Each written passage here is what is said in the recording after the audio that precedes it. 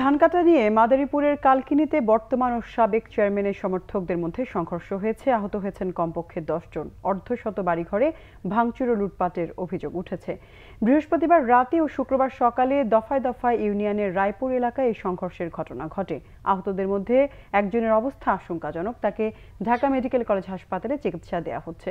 Police জানায়, উপজেলার লক্ষ্মীপুর ইউপির বর্তমান চেয়ারম্যান তোফাজ্জল হোসেন কেন্দু কাজীর সঙ্গে সাবেক চেয়ারম্যান মোহাম্মদ ফজলু ব্যাপারীর দীর্ঘদিনের শত্রুতা। এর জেরে ধান কাটা নিয়ে দফায় দফায় সংঘর্ষে জড়ায় দুপক্ষ। এর আগেও হামলা ও বিস্ফোরণের মামলায় ওই দুজনকে জেল হাজতে পাঠানো হয়।